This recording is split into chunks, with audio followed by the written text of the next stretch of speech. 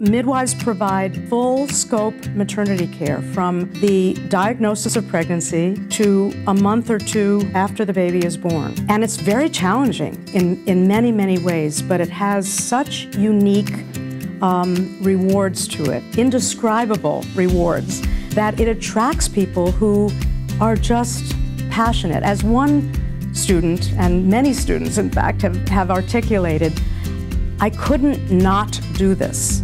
We are the only direct entry, and that means without prior professional nursing, midwifery education program that grants a master's degree from a regionally accredited university.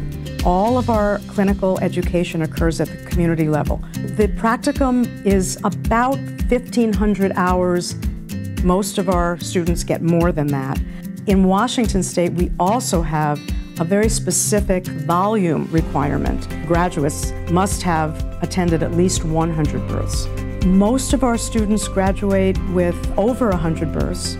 Most of our students um, uh, are placed in, in practices that they have chosen themselves so that the student can really identify what kind of midwifery education clinically they want. usually it's going to have something to do with where they hope to practice someday. We have a very diverse student profile. We have people who are making a mid-career change. We have people who are right out of college.